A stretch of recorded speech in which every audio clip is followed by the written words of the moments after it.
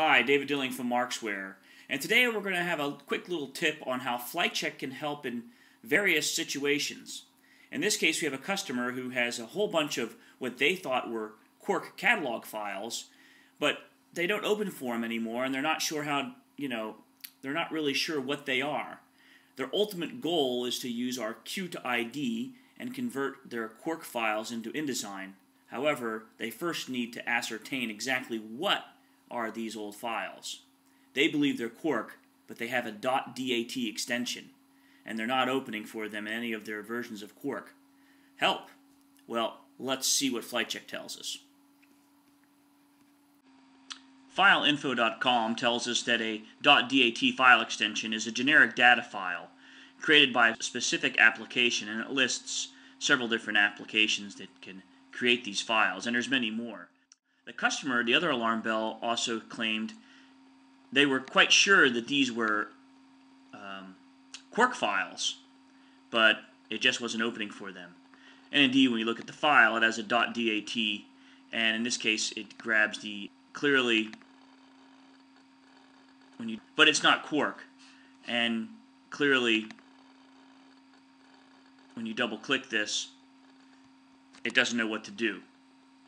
Alright, so let's see what FlightCheck tells us. Alright, so let's drop the .dat file on our FlightCheck icon in our dock on this Macintosh.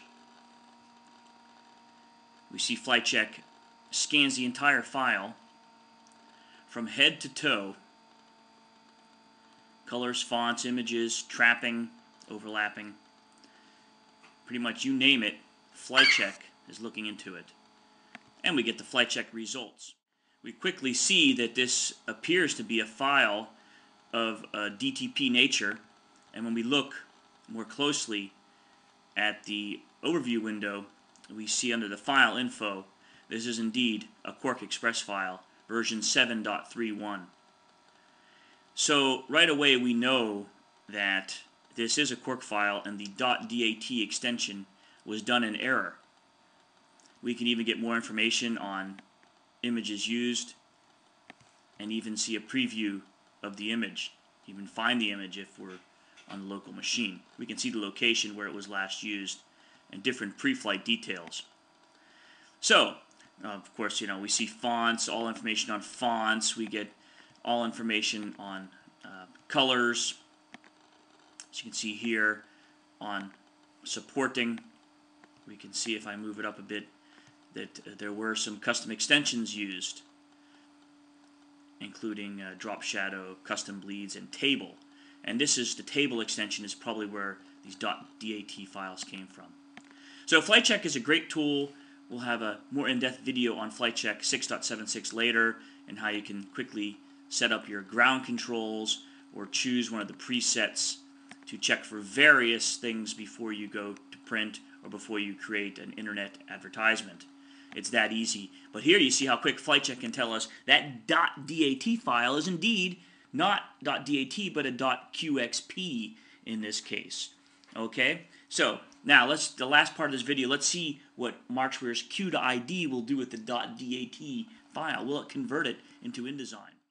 Much like FlightCheck, our conversion technology in pub to ID and Q to ID and ID to Q relies on looking deep within the file format and not just on judging the book by its cover and saying, hey, it's a .dat, we can't try to open that file.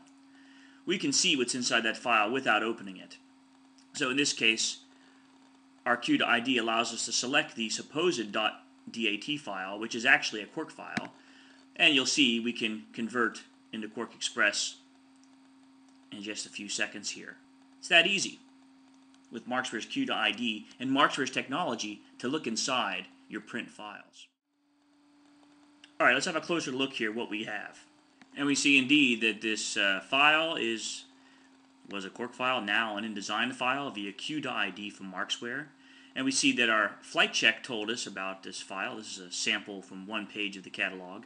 And we see here the bird.eps, which we saw in FlightCheck and got all the pre-flight info on. The Markzware technology looks deep into the file, and we've had people send us, yeah, this is a PDF, how come it's not outputting, when it really was a .indd or a .jpeg. The designer just switched it from .jpg to .pdf and thought it would be a PDF.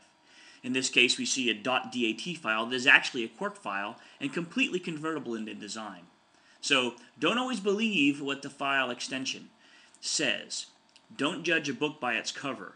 Use FlightCheck, check check your file, and it will tell you what the file really is. Not only that, it will pre-flight and let you package all fonts and images as well. It'll even package fonts used within other images used within your InDesign layout, for instance from Illustrator or Photoshop, etc. So, that was a quick tip. I guess it went a little bit longer than just being quick, but I think this is vital information for people working with digital files for print and for exporting for internet use to understand 100% without any doubt what's inside your file. Use the quality assurance standard, Mark's FlightCheck, and if you need to convert your files, there's Q to ID from Quark to InDesign, and ID to Q from InDesign to Quark, and Pub to ID from Publisher to InDesign, and many, many other services we offer for converting and fixing your bad files. This is David from Markzware signing off, wishing you a happy holiday season and a Merry Christmas. And of course, a Happy New Year.